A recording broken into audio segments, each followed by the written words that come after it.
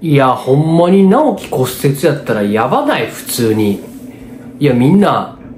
普通に冷静に考えて、骨折はやばない。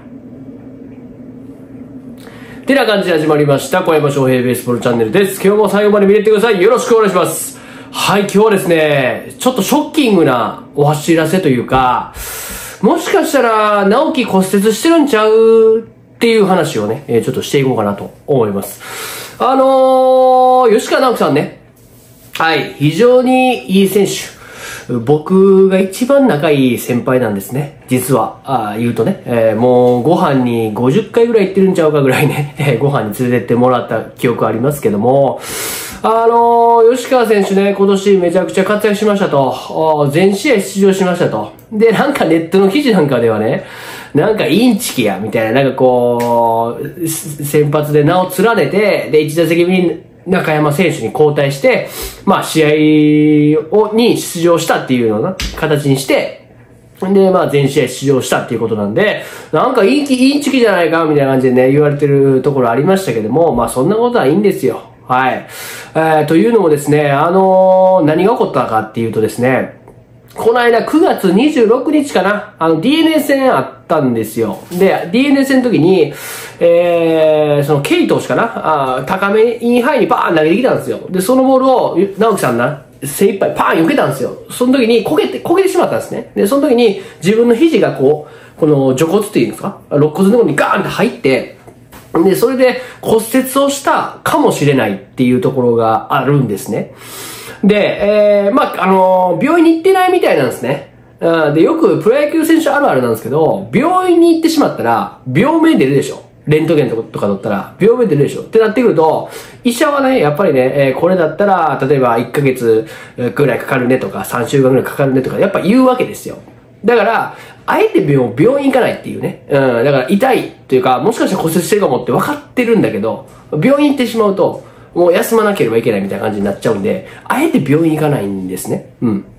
で、えー、まあ、おそらく骨折してるんちゃうかっていうところはあると思うんですよ。まあ、ちょっとわからないよ。まだ行ってないからわかんないけど、骨折してるんちゃうかっていう感じはなってるんですね。で、僕、なんか記事かなんかで見たんですけど、あの、痛み止めをね、飲んで、えー試合にね、出場してたっていうところあったと思うんですけど、僕ね、あの、よくあるんが、ボルタレンっていうね、うん、なんかきついやつあるんですよ。ボルタレンっていうのあって、あのーまあ、飲み薬でね、えーまあ、一番きついんちゃうかって言われてるようなやつがあって、それ飲むでしょ。普通大体効くんですよ。普通大体、まあ、ある程度痛いやつでも効くんですね。僕もボルタレン何回も飲んだことあるんで、あの、だい、あの、わかるんですけど、でもね、それでは多分効かなかったんですね。うん、だから、座薬お尻の穴からもう一個こう、あの、薬を入れて、上からと下から、あの、痛み止めを飲んだって、よっぽどだと思うんですね。うん。ボルタレンってだいぶきついんですよ。飲み薬でもだいぶ効くんですよ。だけど、それで効かなくて、座薬まで入れるって、多分よっぽどだと思うし、僕は間違いなく骨折してるんちゃうかなって思うんですね。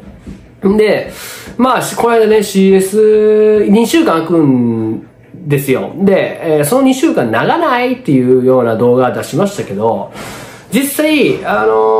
ー吉川選手にとっては、あ良かったんちゃうかなと思って、逆にこのまま行っちゃうと、このまま例えばね、えーすぐ試合ありますって感じになってくると、多分プレーなかなかできないじゃないですか。本調子のプレーどう考えてもできないじゃないですか。だから、ジャイアンツにとっては、まあその2週間ね、休みがあるというか、こう、期間が空くっていうのは、えーまあその治療期間というかね、えーそういったところでも非常にいいんじゃないかなって思うんですね。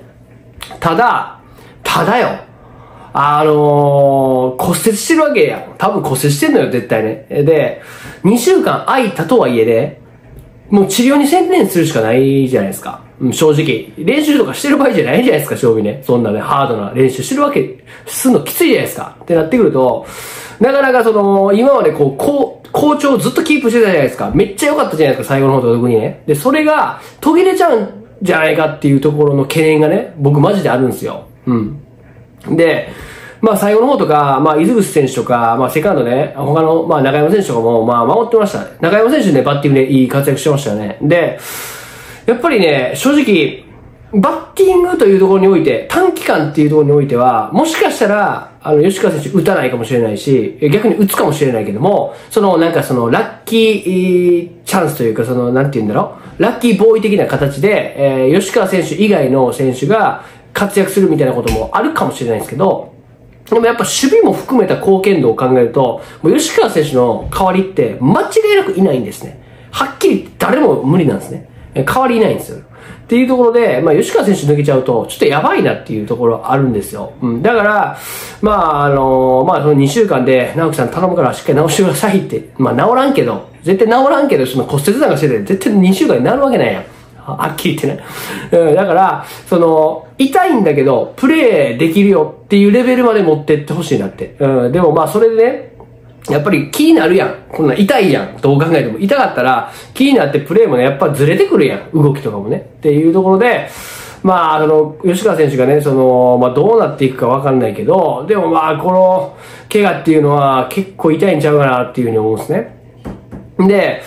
あの、まあ、今年ね、まあ、ちょっとポジティブな話しましょう。あこんな、ね、暗い話してるのもあれなんでね、ポジティブな話しましょうか。で、あのー、まあ、僕ね、吉川選手と、まあ、仲いいって、えー、僕は思ってますけども、僕は思ってますけど、まあ、あっちはね、どう思ってる、あっちはどう思ってるかわかんないですけど、僕はね、非常にこう、可愛がってもらったなって、めちゃくちゃ可愛がってもらったなって思ってるんですね。で、今でも感謝しかないですね。で、その中で、ちょっと、これ話していいのかわからないけど、ちょっと、直樹さんが、まあ、どのような形で、ジャイアンツに入ってきたとか、うん、どういう形で、えー、僕がいた時ね、えー、まではね、えー、絶対知ってるんで、うん、どういう形で野球取り組んでたかっていうところをね、えー、お話していきたいと思うんですけど、あのー、まあ、吉川さんって、まあ、あのー、大学から、あ中京学院大学かな？っていうところから、まあ、ジャイアンツに入ったわけですけど、あのー、やっぱ地方の大学だったんで、あんまり知名度高くなかったんですね。だけども、吉川選手が、あの、一回大学日本代表の合宿団が選ばれた時に、めちゃくちゃいい動きしてたんですね。忍者みたいな動き、今みたいな動きしてて、すごいな、この選手と。おどこの大学やみたいな感じになったわけですよ。で、そこからね、注目度がだんだん上がっていく形になったんですね。で、大学でも最後のね、えー、秋のリーグで、えー、日本一になってめちゃくちゃ注目度上がるわけですよ。うん。で、まあ、あの、日本のスカウトもそうですし、えー、海外のスカウトなんかもね、たくさん来てたっていうふうに僕、直樹さんから聞いてました。で、あの、直樹さんは正直、まあ、行きたいところとかあんまりなかったみたいなんですよ。で、その、中京学院の練習なんですけど、めちゃくちゃ緩いらしいんですね。うん。だから、あの、結構その、直樹さん曰く、サークルみたいな感じって言ってたんですよ。全国優勝したんだけど、サークルみたいな練習らしいですね。で、なんかこう、本当に、えー、めっちゃ緩い感じらしいんですよ。ほんま、緩いって言い方、うん、適切かわかんないけど、本当に練習時間でももうほんますぐ終わるし、みたいな。で、ノックバーってやって、えー、バッティングちょっとパーパーって打って終わりみたいな感じらしいんですよね。で、直樹さんは地元、まあ愛知というかね、その辺じゃないですか。東海地方じゃないですか。だから、ドラゴンズの、ドラゴンズが1位で指名しようかなと思ってたらしいんですよ。だけども、えー、直樹さんとかのその、チームがね、今言ったように緩い感じのチームだったから、その、中日ドラゴンズは結構その、規律をちゃんとしてるというか、例えばユニフォームの着こなしとか、えー、チームでのその練習態度とかっていうのをめちゃくちゃこう、スカウティングするときに重視してたみたいなんですね、その当時ね。で、えー、その、なんか先ほど言ったように、そのチームが緩いから、うん、もうなんかサークルみたいって言ったじゃないですか。こう、みんなも、みんな緩いみたいな。直樹さんだけが、こう、ふざけてるというか、緩いわけじゃなくて、そのチーム全体がもう緩い流れなんですね。こういう雰囲気で。で、その中日のスカウトが来た、見に来た時に、もうその練習態度というか、その、なんていう、練習の雰囲気を見て、あ、これ1位ダメだなって思ったらしいですね。で、それで、結局、まあ、あの、ジャイアンツに入団したっていう形になったみたいですね。で、えー、やっぱり、えー、直樹さんね、その大学時代、そんな感じで、そんな感じでというか、そういうか、そういう雰囲気の中でやってたんで、やっぱプロ入ってからやっぱ戸惑ったみたいなんですね。やっぱプロってすげえな、みたいな感じで思ったっていうふうに言ってました。で、やはり練習量も多いしっていうところで、まあいろいろね、ジャイアンツ、えー、直樹さんね、えー、まあ怪我ありましたよね。まあいろいろ、まあ一軍に出た時にこう、ヘッドスライディングして手骨折したりとか、えー、いろいろな腰もそうですし、いろいろ満身創痍だったんですね、ずっとね。で、僕がいる時言ってました。本当に直樹さん。あの、俺も体がもうガラスやって。もう本当に怪我したくないし、やってるんだけど、いろいろやってるんだけど、もうなん、もううまくいかないっていうふうに、本当にもう自分のその体の弱さにはもうなんかもう、もう呆れてしまうみたいな感じでずっと言ってました。ただ、あのー、でもね、やることは彼はやってましたし、彼って言い方あれですけど、山口さんやってましたし、で、本当に、僕がいた最後の方ですかね、ちょっとね、やっぱりなんか意識が変わってきたというか、僕が言うのもなんなんなんですけど、やっぱりこう、ほんまにちゃんとやらな、ちゃんとというか、しっかりやらなあかんなっていう意識になって来られたっていうのはなんとなく分かったんですよ、僕。まあ常に一緒に大体いたんで、あの、分かったんですね。で、やっぱりこう、本当に引っ張っていかないといけないとか、本当に、えー、このままやったら終わってしまうみたいな感じで多分思われたんだと思うんですね。で、そこから一人暮らしとかもね、されて、まあその、家の、あの、中でどういう感じでされたっていうのは、まあ、詳しいことは知らないですけど、あのー、まあ、記事とか見てると、やっぱりこう、毎日ね、交代浴、まあ、あったかいお湯とお、お風呂と冷たい、水を、冷水を1時間ぐらいね、交代浴したりとか、ストレッチもね、ほんと毎日、えー、30分とかから1時間ずっとやったりとか、そういう風なね、ケアをもうほんと毎日欠かさずやってたというか、まあ、いろいろね、本当に、食べ物から何から気気にかけて、本当にもう怪我しないようにっていうところで、えー、やってこられたっていうふうにね、僕聞いたんですね。聞いたというか見たりとかしたんですね。っていうところを見て、えー、なんかその、あ、本当に、まあ、寮の時からやってましたよ。やってましたけど、なんか本当に、えー、変わったんだなというか、あやっぱ、あのー、その意識が変わって、やっぱ行動が変わるじゃないけども、そういったことってあったんだなというふうに思って、で、今年ね、え全試合出場っていうところで3番とかね、いろんな打順でも引っ張ってくれたっていうのがあるんで、やっぱりこう、素晴らしいなっていうふうに思うし、やっぱりその選手とね、やっぱり関われたっていうのも僕の人生のね、すごく大きな財産だと思いますし、まあ今、えー、クライマックスまであとまあ2週間ぐらいありますけども、まあどういう形でね、直樹さんがこう、復帰して、復帰していくかとか、直していくかとか、えー、それはちょっとまだわからないですけども、今後ね、えー、動向も追っていきたいと思いますし、あのー、ぜひね、日本シリーズに行って、日本一になってっていうところも見たいと思うので、あの、ぜひね、頑張ってもらいたいなというふうに思って思っております。まあ余談なんですけど、まあ僕が辞めるときにですね、あのー、ジャイアンツに、えー、お前残るやろっていうふうに、えー、言われたんですね。で、なんかその、えー、お前こう、ブルペンキャッチャーであったりとか、まあマネージャーとかっていう、う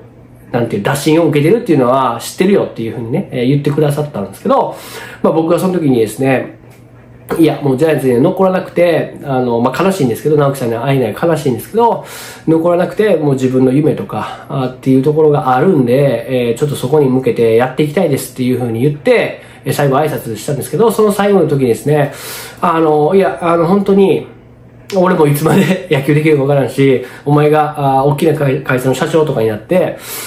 俺をや雇ってくれっていうふうにね、言われてるんで、あの、直樹さんがね、えーえー、いつ引退されるかわからないですけども、それまでにですね、あの、僕もね、えー、立派なね、会社を立ち上げて、えー、直樹さんを雇えるだけのね、あの社長に、社長にというか、まあまあ、そんな感じにね、なれたらいいなというふうに思っております。えー、今年もね、えー、ご飯連れてってください。はい、そんな感じでね、えー、今日は終わっていこうと思います。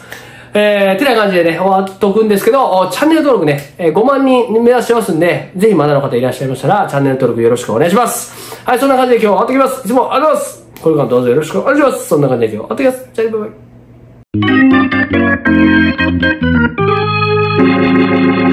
イ。